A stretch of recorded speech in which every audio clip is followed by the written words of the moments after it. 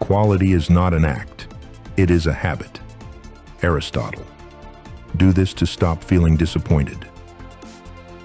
This quote highlights that quality is not achieved through isolated actions, but through consistent and repeated behaviors. What do you do consistently every day to improve your life? Aristotle believed that true excellence is not a one-time event, but a cultivated habit. He, like other Stoics, would argue that developing a habit of doing things with excellence can lead to a life of purpose and meaning.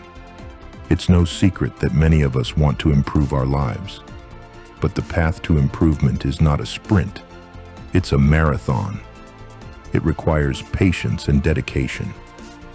As Marcus Aurelius would say, the happiness of your life depends upon the quality of your thoughts, and the quality of your thoughts is directly related to the habits you form. If you want to achieve true excellence, you need to start by focusing on the small, daily actions. Start with small steps and be consistent.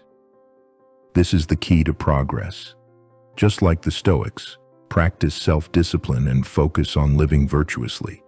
It is through such daily actions that you'll develop good habits and create a life of meaning. Don't just think about the goal. Focus on the actions that will get you there. Let's look at the life of a successful athlete.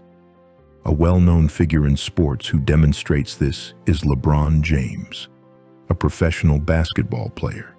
He is known for his incredible skill and his relentless pursuit of excellence. LeBron is often seen practicing late at night, pushing himself to the limit. He doesn't achieve success through occasional acts of greatness. It's his consistent commitment to the fundamentals that makes him one of the greatest players of all time.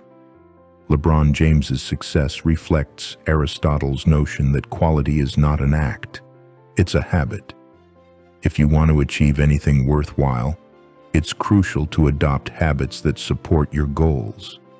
This is a key concept in Stoicism, a school of philosophy focused on living a virtuous life. We see examples of this in countless other areas of life. For example, if you want to be a successful writer, you need to make writing a daily habit. If you want to be a successful entrepreneur, you need to make networking a daily habit. If you want to be a successful person, you need to make self-improvement a daily habit. It's easy to get caught up in the quick fix mentality. But the truth is that true excellence is built over time through consistent effort. So focus on the small daily actions. These are the habits that will lead to a life of quality.